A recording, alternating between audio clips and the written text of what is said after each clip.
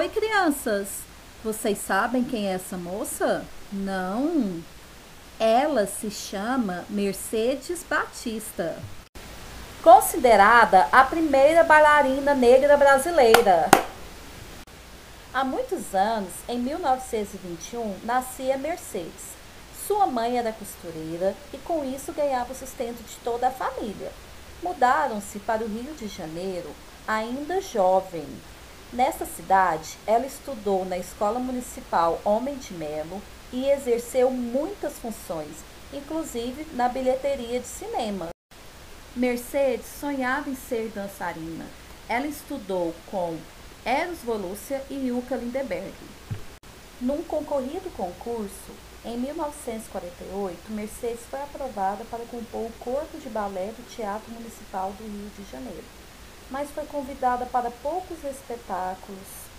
Vocês acham que isso a abateu? Durante esse tempo, a bailarina realizou inúmeras apresentações junto ao Teatro Experimental do Negro e militou em reconhecimento aos artistas negros.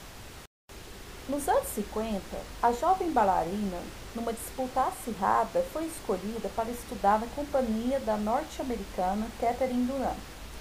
Ao retornar ao Brasil, ela montou sua própria companhia, batizada de Balé Folclórico Mercedes Batista, que revelou grandes artistas.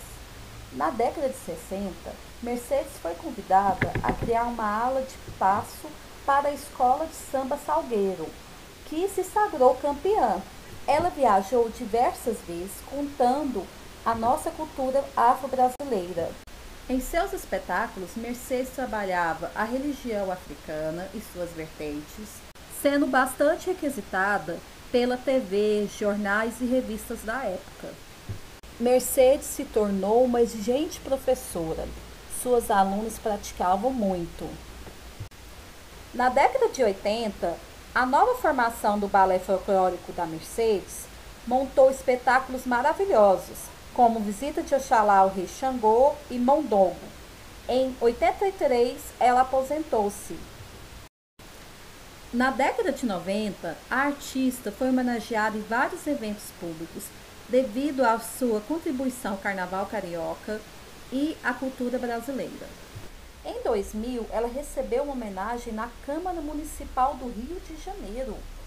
E também teve um filme gravado em 2006 que se chama Balé Pé no Chão, a dança afro de Mercedes Batista. Até estátua ela tem para homenageá-la. Foi ou não foi uma grande contribuição para a cultura brasileira, em crianças?